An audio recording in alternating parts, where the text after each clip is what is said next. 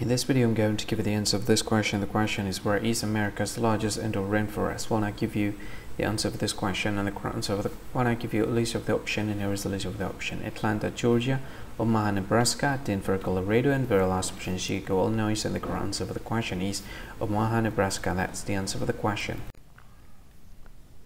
Hi, thank you so much for watching this video. If you find this video is very useful, you can help this channel to grow by subscribing this channel. Please this subscribe button and don't forget to like this video. And if you find this video is not really good or you don't really like this video or you kind of feel that it's a little bit offensive or something like that, you can click this one, dislike button. You can do that anyway.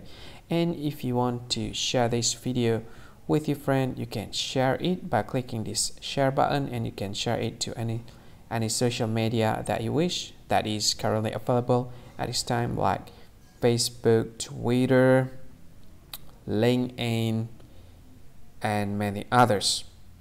Right? And if you want to add this video to your playlist, you can click this one. You can watch this video later and you can find more options by clicking these three dots. And yeah, don't forget to subscribe. I think that's all of it. Thank you so much for watching this video and see you again in another video. Bye bye. See you again.